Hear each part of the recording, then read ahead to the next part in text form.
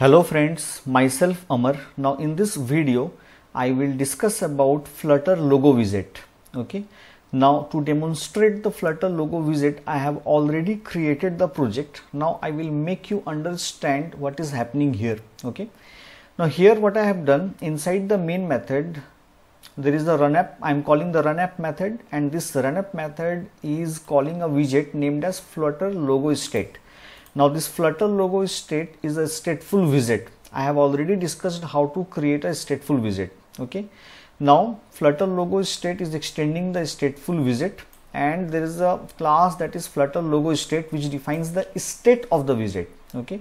And I have created this class here as you can see Flutter logo state which is extending the state of which widget, the widget which we are creating that is Flutter logo state. Now there is a build method. Inside the build method we will describe the UI okay? Now inside this class what I have done I have created a variable named as size having the value as 100 right? Now inside the build method I have taken the material app widget. In the title of the material app I have written flutter logo. Now in the home attribute I have taken a center widget. Now as a child of the center widget I have taken a column widget.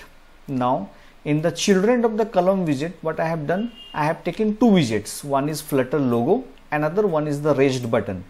Now in the flutter logo there is an attribute which is called as the size which specifies what will be the size of the flutter logo. Now as you can see in the size I have used the variable size having the value as 100 this means first time when the flutter logo will be created it will have the size as 100 okay after that there is a colors attribute. Here the color i have specified as colors dot green. This means the flutter logo will have the colors as green.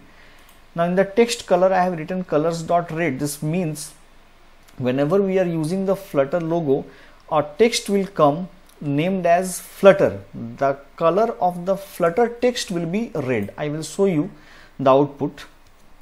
Let me run this. And after running this you can see this is the output which we are getting. As you can see now this flutter logo has been created with the size 100 right? The color of the flutter logo is green and the text color is red. This means the flutter text color is red.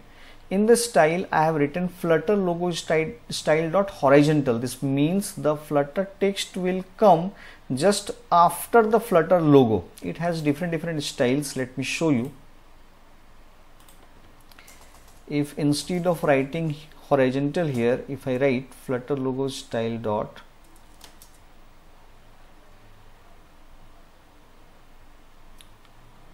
mark only okay? If I keep mark only only now let me save.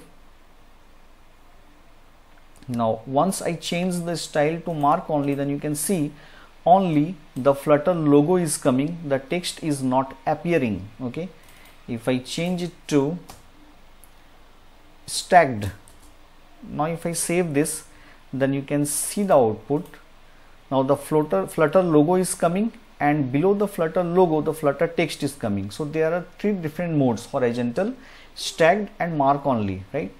Now there is a property which is called as the duration. Now in the duration i have specified as 2 second and in the curve we can specify the animation. Now what this duration and this curve will do?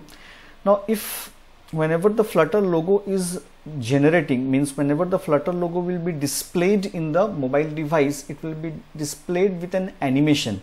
That animation can be controlled by using curve and the duration of the animation can be controlled by using duration okay?